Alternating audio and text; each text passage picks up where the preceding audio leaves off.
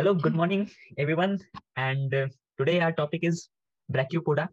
So we are going to revise for your exam brachiopoda. तो brachiopoda क्या होता है कैसा होता है कैसा दिखता है तो हम लोग brachiopoda के बारे में पढ़ेंगे तो बेसिकली अगर रफ आइडिया आपको दो ब्रैक्योपोडा के बारे में तो ब्रैक्योपोडा क्या है कि बेसिकली ये मराइन एनिमल है और ये कैसा होता है बेंथिक होता है यानी समुद्र के नीचे मिलता है तुमको और और क्या बोलेंगे ये सिसाइल होता है या तो सॉलिटरी होता है। आ, कभी कभी क्या करता है ये जो रॉक हो गया कुछ ऐसा नीचे एक बेसमेंट हो गया ना तो बेसमेंट के ऊपर ही अपने आप को अटैच कर देता है ठीक है? और आ, क्या होता है इन लोग जो अटैचमेंट करते हैं ये आ, एक स्टॉक के थ्रू अटैचमेंट करते हैं या तो हम लोग उसको पेडिसल बोलते हैं जैसे आ, कोई भी चीज़ को अगर आप ज़मीन पे खड़े हो तो ज़मीन पे किसके भरोसे खड़े हो? आप पैर के भरोसे। तो पैरों के साथ आप ज़मीन पे अटैच हो। वैसे ही एक ब्रैक्योपोडा के अंदर एक, सिसाइल अटैचमेंट होता है जिसको हम लोग ब्रैक्योपोडा जिसको हम लोग पेडिसल बोलते हैं। तो वो रॉक के जो बॉटम है तो आ, वो उसके ऊपर वैसे उसके थ्रू एक फ्लैशी एक मटेरियल ऑर्गेनिक फ्लैशी जैसा एक वो होता है स्टॉक जैसा या आपको एक छोटी सी डंडी जैसा आप बोलोगे तो उसको हम लोग पेडिसल बोलते हैं। सो so, और ब्रैक्योपोडा को हम लोग ना, ये अगर आपने कभी लैम्प देखा होगा तो एक रोमन लैम्प जैसा वो, ऐसा उसका शेप जो रहता है ना, वो रोमन लैंप जैसा दिखता है हमको तो इसलिए हम लोग उसको बेसिकली हम लोग दूसरा नाम से अगर ऐसे बोलते हैं तो उसको हम लोग लैंप शेल्स भी बोलते हैं। ठीक है? तो ये हो गया एक रफ आइडिया ब्रैक्योपोडा के बारे में। अगर आपको फ़ोटो दिखाओ ब्रैक्योपोड्स की तो मैं आपको फ़ोटो दिखाता हूँ ब्रैक्योपोड्स कैसे दिखते हैं। सो आप देख पाएँगे। ये ये है ब्रैक्योपोड्स। अगर आप देखोगे अच्छे से, ये ऐसे दिखते हैं आपको ब्रैक्योपोड्स। ये ब्रैक्योपोड्स है। ये सब जो है, ये ब्रैक्योपोड्स है। और ब्रैक्योपोड्स हमने जैसे पढ़े थे अपना बाइबल्स, पिछले वीडियो में आप देखना कि उसमें हमने बाइबल्स के बारे में पढ़े तो तो बेसिकली ये बाइबल्स के जैसे बहुत बहुत हद तक, एक हद तक इन लोग बाइबल्स जैसे ही दिखते हैं। बट बाइबल्स और इन लोगों में ब्रैक्योपोड्स में डिफरेंस है। क्या क्या डिफरेंस है? अभी हम लोग ये सब पढ़ेंगे देखेंगे। तो बेसिकली आप ये सब देख के रखो कि ये बाइबल्स कैसे होते हैं क्या होते हैं। सो so, अब मैं जो आपको बता रहा था पेडिसल ये जो रहता है पेडिकल ये होता है पेडिकल जिसके थ्रू एक ये रॉक बॉटम है।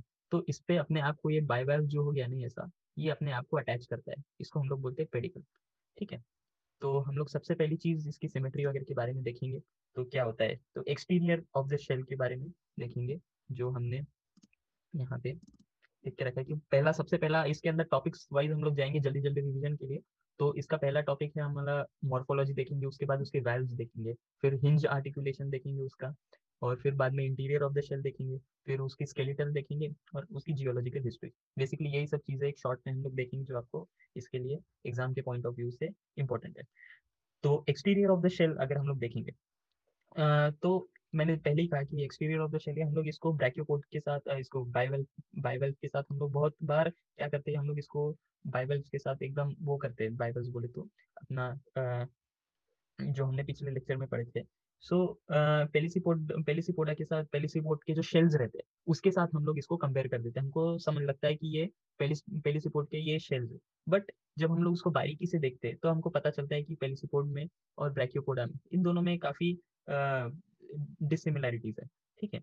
सो so, अब देखो जो ब्रैक्योपोड्स रहते हैं ब्रैक्योपोड्स को भी हम लोग बाइवेल्व्स बोलते हैं। क्यों? बाइवेल्व्स क्यों नाम आया था? क्योंकि उसके अंदर बेसिकली दो वेल्व्स हुआ करते थे। तो इसके अंदर भी आपको दो वेल्व्स देखने को मिलते हैं।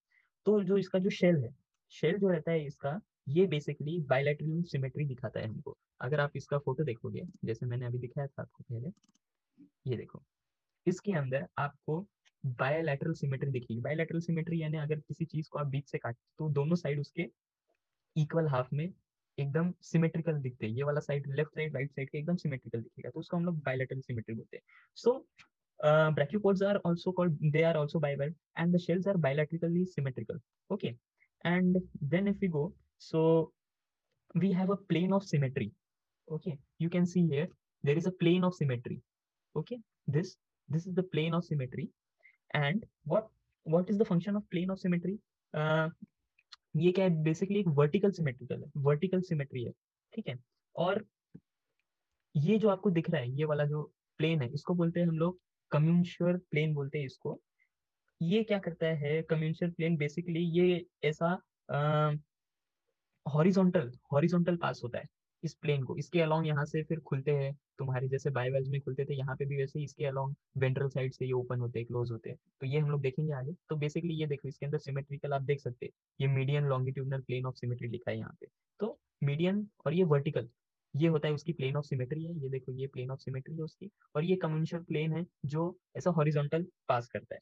ओके उसके बाद अगर आप इस पे जाएँगे कि the valves are hinged along commissural plane tightly मैंने अभी जैसे कहा, यहाँ पे जो वेल्व्स है उसके वेल्व्स इसके कम्युनिशल प्लेन के अलोंग जो है ना, दोनों वेल्व्स यहाँ पे हिंज हिंज लाइन के थ्रू, यहाँ पे इनकी हिंज लाइन है और उसके अलोंग ये अच्छी से वहाँ पे जैसे हिंज का काम क्या होता है बेसिकली ओपन और क्लोज करने का। तो यहाँ पे उन लोग अच्छे, उस हिंज लाइन के अलोंग इन लोग इस कम्युनिशल प्लेन जो है, उसके अलोंग ये हिंज है।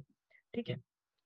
तो अब इस कम्युनिशल प्लेन के कारण क्या होता है कि अभी हमको इसमें क्लासिफिकेशन आ जाता है। तो हम लोग इस प्लेन जो हॉरिजॉन्टल प्लेन है, इसके अलोंग हम लोग इसको क्लासिफाई करते हैं, जिसको हम लोग बोलते हैं कि ब्रैक्योपोड जो है, हम लोग इसको दो इसमें रिकॉग्नाइज कर सकते हैं, दो वेल्व्स के अलोंग तो पहला जो ग्रुप है, जो पहले इसके अंदर हम क्लासिफाई करते हैं तो पहला जो टाइप जिसमें हम लोग क्लासिफाई करेंगे, वो है किस बेसिस पे? तो जो दो वेल्व्स जो है, वो किस तरीके से अटैच है? ये ऊपर वाली वैल्व भी नीचे वाली वेल्व अभी अगर आपको और किसी इसमें देखना पड़ेगा तो ये फ़ोटो आप देख सकते हैं कि ये देखो, ये एक वेल्व है, ये ये एक वेल्व है, ये एक वेल्व है। ये हमने इसको आड़ा करके रखे है तो ये आप अच्छा मैं आपको और अच्छा व्यू इसका दिखाता हूँ दूसरे इस फ़ोटो में। इसके अंदर डिस्टिंग्विश कर पाओगे। ये देखो, ये उसका नीचे वाला डॉर्सल वेल्व ये उसका ऊपर वाला वेंट्रल वेल्व ठीक है, नीचे में आप देख सकते हो, ये देखो, यहाँ पे कैसे ये वाला एक वेल्व है, ये ऐसे खुलता है, यहाँ से ओपन होता है, ठीक है? ये उसका वेंट्रल वेल्व है, ये उसका नीचे वाला डॉर्सल वेल्व है। अभी ये अगर आपको समझा है इसका वेल्व का, क्योंकि वेल्व्स के बारे में हम लोगों ने अच्छे से कहाँ पे पढ़े थे बायो वेल्व्स के अंदर हम लोग ने पढ़ चुके वेल्व्स क्या होता है, कैसे होता है। सो इस बेसिस पे हम लोगों ने इसको किस, इसमें क्लासिफाई किया है? इसको हमने दो चीज़ में क्लासिफाई की है। वो बेसिकली क्या है? आपके पहला जो होता है क्लासिफिकेशन दो ग्रुप में, वो होगा तुम्हारा आर्टिकुलेटा ये पहला। और दूसरा जिसमें हमने क्लासिफाई किया है, वो हो गया तुम्हारा इन आर्टिक्यूलेटा ओके यहाँ पे हम व्हाइट बोर्ड पे पहले लिखेंगे कि क्लासिफाई इसको किया है? आर्टिकुलेटा दूसरा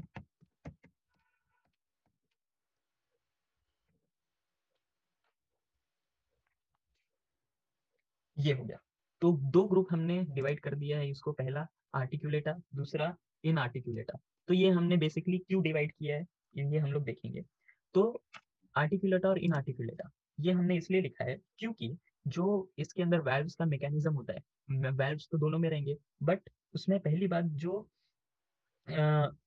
वैल्व्स तुम्हारे मसल हो गया, जो मसल के थ्रू अंदर अटैच रहते वो उस टाइप के ग्रुप को हम लोग बोलेंगे इन आर्टिकुलेटा जो मसल के कारण अटैच होते हैं ठीक है? और बेसिकली आर्टिकुलेटा हम इनको बोलेंगे जो तुम्हारा हिंज मैकेनिज्म शो करता है। हिंज मैकेनिज्म हमने पहले इसमें पढ़ चुके हैं कि हिंज मैकेनिज्म क्या है जहाँ के जहाँ पे बेसिकली डेंटेशन रहते हैं है ना? हम लोग ने ये हिंज कैसा बनता है क्या है ये पुराने वीडियो में जाके आप देख लेना कि क्या है कैसा है। सो शॉर्ट में अगर बताओ तो हिंज मैकेनिज्म आपके uh, ये टीथ सॉकेट जॉइंट वगैरह के कारण आपका बनता है।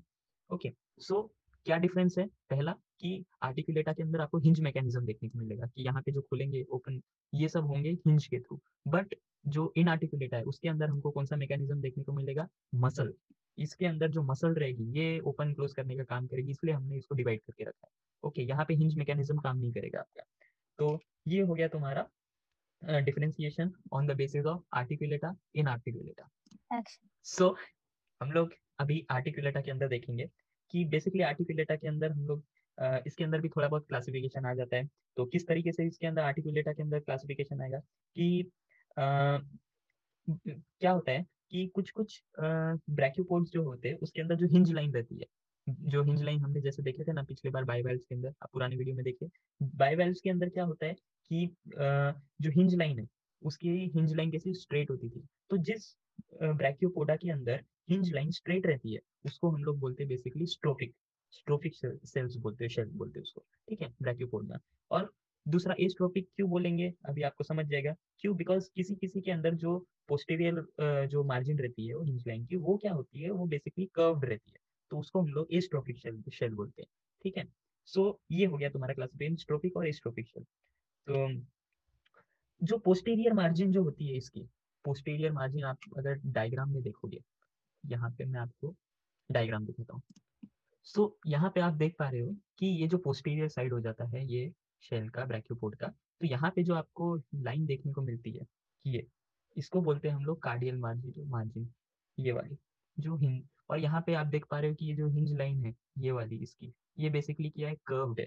तो कर्व्ड हो गया इसमें तो ये आपका कौन से टाइप में आ जाएगा? आपका एस्ट्रोफिक शेल में आ जाएगा ये ठीक है? सो so, अगर आप देखोगे जो स्ट्रेट का अगर आपको चाहिए कोई स्ट्रेट का एग्जांपल जहाँ पे लाइन जो होती है वो स्ट्रेट तो यहाँ पे आप देख सकते हो ये देखो यहाँ पे जो हिंज लाइन आपको दिख रही है ये वाली इसमें ये स्पिरिफर हो गया इस स्पिरिफर के अंदर जो हिंज लाइन है ये आपको एकदम स्ट्रेट देखने को मिलेगी यहाँ पे ठीक है? ये होता है बेसिक बेसिकली सो मैं आपको कार्डियल मार्जिन दिखा रहा था और ये कहाँ पे होता है आपका? जो पोस्टेरियर साइड हो गया, ये वाला पोस्टेरियर होगा ये एंटीरियर साइड हो गया।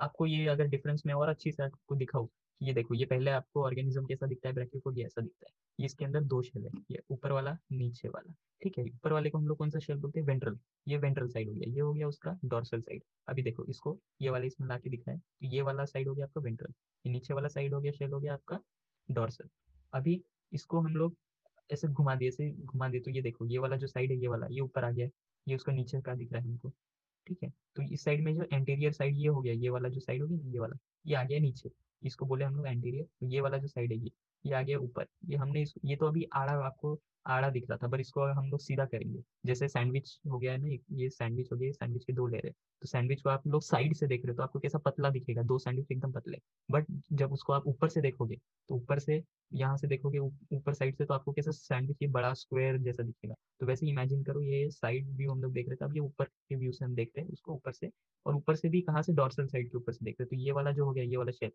ये हमको दिख रहा है, ये देखो, ये यहाँ से चालू होते यहाँ तक। तो ये यहाँ से ऐसे चालू होते ये पूरा नीचे का साइड हमको दिख रहा है डॉर्सल शेल दिख रहा है उसका और ऊपर का जो है इसे ऊपर का ये जो एक्सटेंडेड पार्ट है यहाँ से, ये वाला, ये जो ये थोड़ा एक्सटेंडेड पार्ट ये वाला। ये बस इतना सा दिख रहा है बट उसके नीचे में क्या है, आपका वेंट्रल वाला शेल है। तो ये है बेसिकली आपको ये दिखाना था मुझे कि कैसा होता है एंटीरियर साइड पोस्टीरियर साइड आप आपको समझ गया कि पोस्टीरियर साइड कौन सा ये एंटीरियर साइड जहाँ से ये शेल खुलता है ये एंटीरियर डॉर्सल कौन सा? ये डॉर्सल जिस जो अभी जो इसके अंदर भी जो वेल्व्स होते हैं अभी हम लोग पढ़ेंगे वेल्व्स ब्रैकियोपोड्स के तो और अच्छे से आपको समझाऊँगा मैं। तो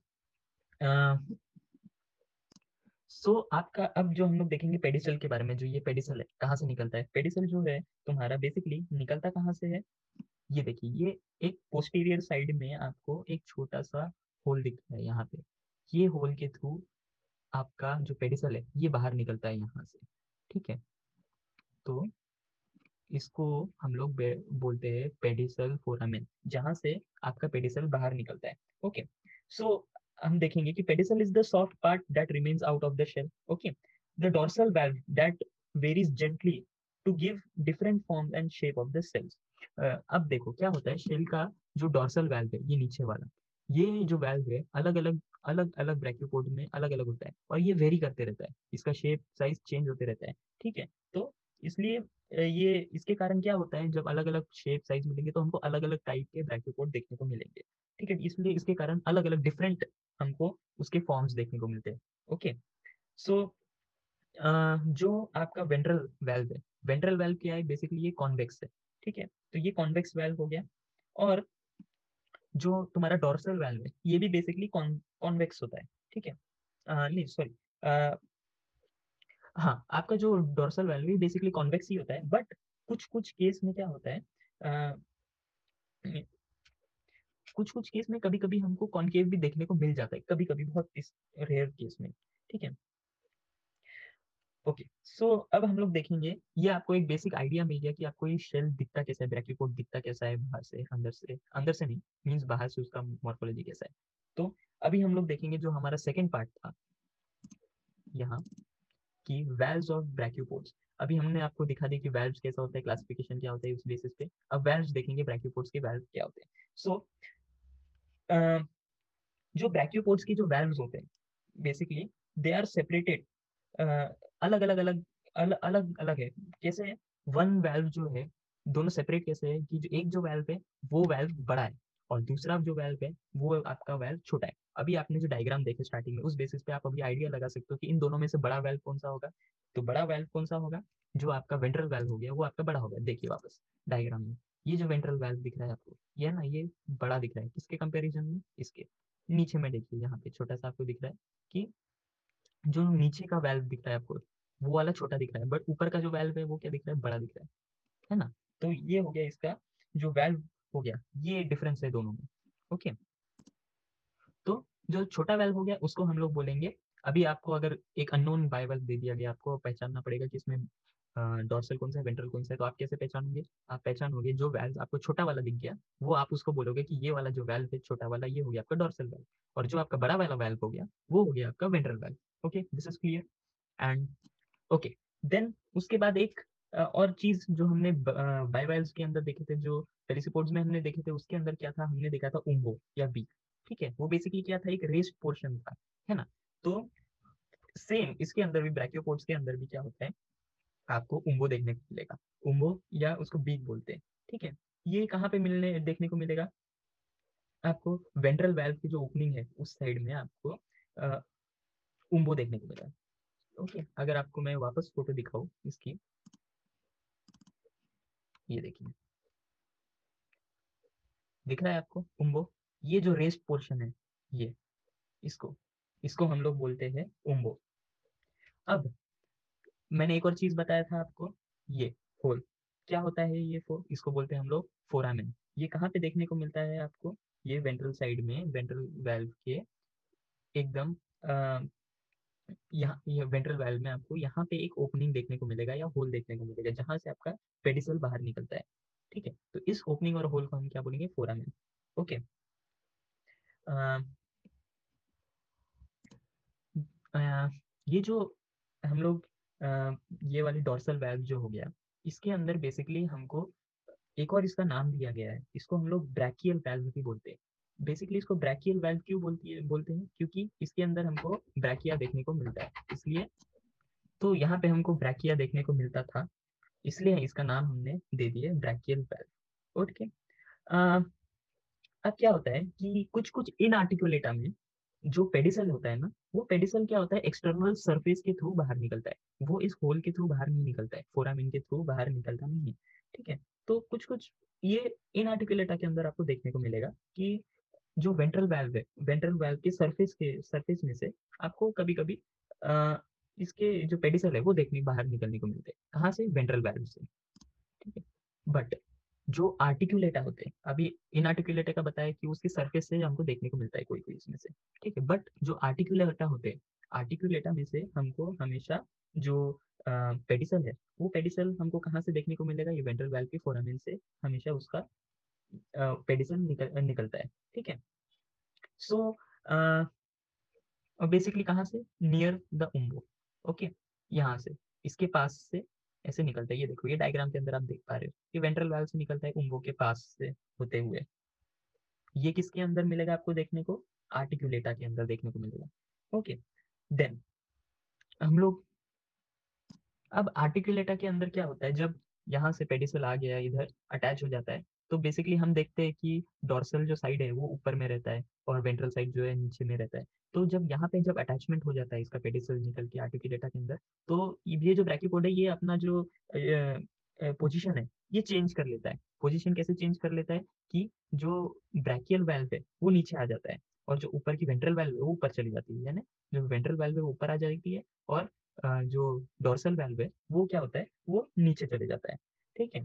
तो ये चेंज होता है जब पेडिसल निकलता है अटैच होता है ये एक चेंज होता है ब्रैकियोपोडा में so we have seen brief about valves of brachiopods okay now let's see about hinge articulation so uh, as i have stated earlier that basically there are two main groups of brachiopods like articulata and inarticulata okay and um, they are basically recognized into two groups okay and in uh, group like uh, in articulata, two valves are joined together by means of a muscle without any teeth or socket interlocking. Okay, but in articulates, two valves are held together by the means of hinge like teeth and socket okay ये मैंने आपको बता के रखा है so uh, we know that uh, articulates are then again they are recognized into two these are strophic astrophic okay so i have told you this uh,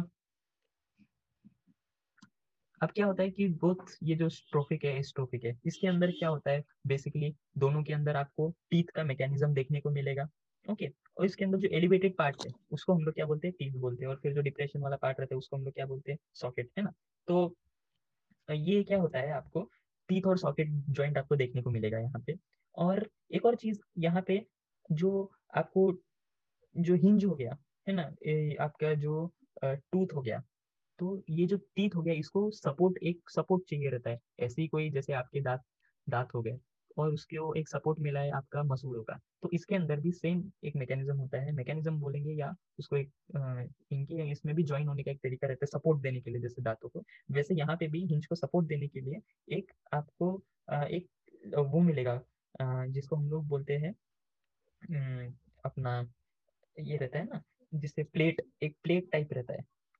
तो यहाँ पे भी आपको एक प्लेट टाइप मिलेगा ओके सो so, मैंने बताया था आपको टीथ मैकेनिज्म के बारे में कि जैसा टीथ होता है आपका बाइबल के अंदर यहाँ पे हिंज के अंदर टीथ होते हैं बेसिकली तो एक जो टीथ होता है उसको एक सपोर्ट चाहिए रहता है। और टीथ जैसे आपके दांत हो गए वैसे आपके दांत को कैसे मसूड़ों का सपोर्ट मिला हुआ है। तो सेम ब्रैक्योपोर्ट के अंदर भी क्या होता है कि जो आर्टिकुलेटा के अंदर उनको एक सपोर्ट चाहिए रहता है उनके टीथ को। वो सपोर्ट कौन देता है? एक प्लेट देता है। तो वो प्लेट हो गया आपका हिंज प्लेट उसको हम लोग बोलते हैं हिंज प्लेट तो basically the tooth is supported by hinge plate और वो कहाँ पे फिक्स है? वो जो हिंज प्लेट है, आपकी हिंज प्लेट वेंट्रल वेल्व के अंदर आपको फिक्स मिलेगी है ठीक है? तो इसके अंदर आपको अटैच मिलेंगे टूथ आपके. और पोस्टीरियर मार्जिन जो रहती है posterior margin along which there is your hinge line जो आपका पोस्टीरियर साइड हो गया ना पोस्टीरियर मार्जिन जो मैंने आपको दिखाया था डायग्राम के अंदर, उसके अलोंग आपका हिंज लाइन आपको देखने को मिलेगा, ठीक है? क्योंकि एंटीरियर साइड से क्या होता है? शेल खुलता है। यहाँ पे अगर ये शेल हो गया ये शेल हो गया आपका। ये वाला जो हो गया, ये वाला साइड यहाँ पे आपको हिंज देखने को मिलेगा। यहाँ पे, और ये वाला साइड कौन सा हो गया? आपका पोस्टीरियर साइड ये वाला हो गया एंटीरियर क्योंकि यहाँ से शेल ओपन होता है। ओके तो जहाँ से ओपन होता है, ये वाला आपका एंटीरियर साइड हो जाता है। और ये पीछे वाला जहाँ पे हिंज मैकेनिज्म आपको देखने को मिलेगा, ये आपका हो जाता है एंटीरियर और ये पोस्टीरियर ठीक है तो ये क्लियर हो गया। तो हम लोग अभी नेक्स्ट टॉपिक पे बढ़ेंगे, जो है हमारा इंटीरियर ऑफ़ द शेल अभी हम लोग शेल का अंदर का साइड देखेंगे। होप सो आपको ये सब क्लियर हुआ होगा। So interior of the shell हम लोग देखेंगे। तो इंटीरियर ऑफ़ द शेल अभी शेल के अंदर क्या होता है? बेसिकली हमने पिछले इसमें देखे थे।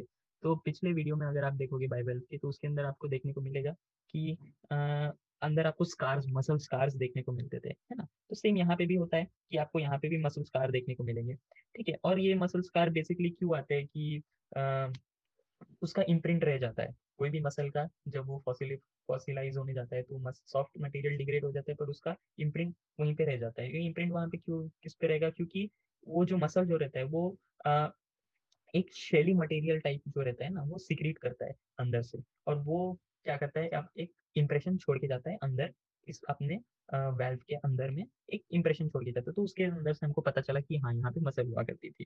तो अब बेसिकली आपको दो टाइप के मसल यहाँ पे भी देखने को मिलेंगे, जो हो गया आपका एबडक्टर मसल और दूसरा हो गया आपका डिडक्टर मसल तो ये बेसिकली काम क्या करते हैं? एबडक्टर मसल डिडक्टर मसल जैसे हमने देखा है पहले, ये क्लोज करने का और ओपन करने का। ये आपका एबडक्टर मसल हो गया तो ये आपका क्लोज करेंगे, जो डिडक्टर मसल हो गया, वो आपका ओपन करेंगे शेल को। तो ये आपका काम होता है बेसिकली एबडक्टर और डिडक्टर मसल का। ओके उसके बाद, अब जो आर्टिकुलेटा होता है आर्टिकुलेटा के अंदर क्या होता है कि एक सॉफ्ट एक फ्लैशी सा एक ऑर्गन जो होता है, वो डेवलप होता है अंदर में।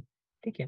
तो वो सॉफ्ट फ्लैशी से ऑर्गन को हम लोग, ये देखो यहाँ पे, इसको हम लोग बोलते हैं लोपोफोर ठीक है? ये जो सॉफ्ट सा एक फ्लैशी सा ऑर्गन दिख रहा है, ये, इसको बोलते हैं लोपोफोर ओके और ये क्या करता है बेसिकली ये ये क्या करता है दो arms like folded arms like कुछ स्ट्रक्चर बनाता है और ये उसको हम लोग बेसिकली ब्रैकिया कहते हैं। यहाँ पे डायग्राम में लिखा हुआ नहीं है बट अब क्या करो? और फिर वो अब ये जो लोपोफोर है अब क्या होता है कोई कोई यंग यंगर इवॉल्व जो आ, होते हैं अपने ब्रैक्यूपोड उसको क्या होता है कि कभी कभी उसको सपोर्ट चाहिए रहता है कि ये मसल जो है उसको कुछ ना कुछ सपोर्ट चाहिए रहता है। तो वो सपोर्ट जो है आपको चिवड़ा देता है। जैसे ये एक हुक शेप एक प्रोजेक्शन दिखाता है उसको। वो क्या करता है आपको लोपोफोर को जो लोपोफोर को सपोर्ट देता है। ठीक है तो उसको हम लोग क्यूरा बोलते हैं। ओके ये ये काफ़ी कॉम्प्लिकेटेड डायग्राम है इसके अंदर का बट आपको इतना सब कुछ याद नहीं रखना है। आपको सिर्फ़ ये याद रखना है कि अंदर सॉफ्ट टिश्यू जैसा रहता है इसको हम लोग लोपोफोर बोलते हैं मसल जैसा और उसको सपोर्ट देता है यहाँ पे ए, आपका क्यूरा बस इतना। अब क्या होता है जो अब ये तो थोड़े यंगर इसमें अब जो और बाकी इवॉल्व ये तो पुराने पुराने थे बट जैसे जैसे इवॉल्व होते जाते हैं ना ये ब्रैक्यूपोड्स अब यहाँ पे आपको एक सिंपल मैकेनिज्म दिख रहा होगा एक सिंपल सा है ना? बट जैसे जैसे और इवॉल्व होते जाते हैं मॉडिफाई होते जाते हैं तो क्या होता है बाद में अब देखो यहाँ पे अब इन लोग अलग अलग शेप बनाते जैसे यहाँ पे आपको दिखेगा ये एक रिबन शेप बना दिया है इसमें ठीक है? और कॉम्प्लेक्स होता है स्पाइरल शेप बन गया। तो जैसे आ, आपका इवॉल्व होते जाता है ना इवॉल्वेशन जैसे भी, जैसे हम लोग पहले ह्यूमन के इवोल्यूशन इवॉल्व होते हुए देखा है ना एवोल्यूशन तो ह्यूमन के अंदर पहले क्या, कैसे पहले झुके हुए थे, फिर सीधे सीधे खड़े हुए तो उसके अंदर भी कुछ चेंजेस आए। वैसे इनमें चेंजेस आए कि जैसे पहले वो सिंपल सा आपको लोगों को दिखता था। यहाँ पे अंदर आपको बाद में इसका नेचर बदलते हुए दिखेगा, आपको स्पाइरल कैलकेरियस ये सब आपको रिबन लाइक आपको देखने को मिलेगा लोपोफोर ठीक है? तो ये सब चीज़ें लोपोफोर को सपोर्ट देता है, चूड़ा, ओके? और सपोर्ट देने के कारण ये बेसिकली आपका जो ब्रैकियल वेल्व है, ये ब्रैकियल वेल्व ये ब्रैकियल वेल्व बहुत इंपॉर्टेंट रोल प्ले करता है आपका सपोर्ट देने के लिए। ओके तो क्या आप आपको क्या समझा कि जो लोपोफोर है बेसिकली लोपोफोर को सपोर्ट कौन देता है आपका ब्रैकियल वेल्व ओके सो अभी हम लोग का ये एक ब्रीफ आइडिया हो गया इंटीरियर ऑफ़ द शेल के बारे में।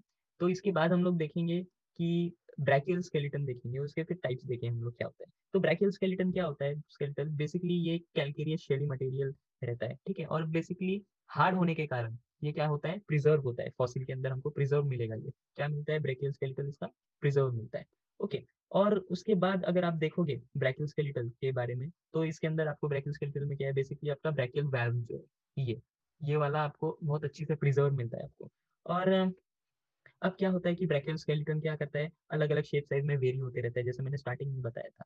तो उसके कारण क्या होता है, फिर इनका क्लासिफिकेशन हो जाता है और थोड़ा सा तो हम लोग इसको बेसिकली फिर दो इसमें, दो टाइप में हम लोग पढ़ते हैं। पहला हो गया आपका एक रिबन टाइप और दूसरा जो हो गया आपका स्पाइरल टाइप ये क्यों होता है? Basically depending on the shape and extent of extent of ribbing ठीक है, इसके कारण आपका ये रिबन टाइप बनता है। जैसे हमने रिबन शेप का भी आपको दिखाया था वहाँ पे डायग्राम में। तो उसके बेसिस पे क्लासिफिकेशन उसका कर दिया है। तो पहला क्लासिफिकेशन उसका किया है एज राइकोनेला मैं आपको यहाँ पे क्लियर करता हूँ पहले इसको मैं। वेट सो बेसिकली हमने देखा ये दो इसमें हमने क्लासिफाई किया। तो पहला एक रिबन टाइप दूसरा हो गया एक का स्पाइरल टाइप तो अगर आपका रिबन टाइप का एग्जांपल देखना है तो आपको राइकोनेला ये आपका रिबन टाइप का एक एग्जांपल आ जाता है इसके अंदर इसमें क्या होता है कि सिंपली इसके अंदर दो क्यूरा रहते हैं, ओके?